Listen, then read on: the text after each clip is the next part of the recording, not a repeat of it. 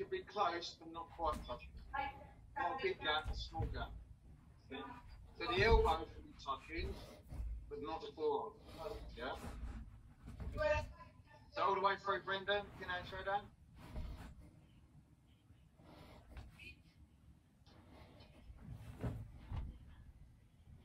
Oh.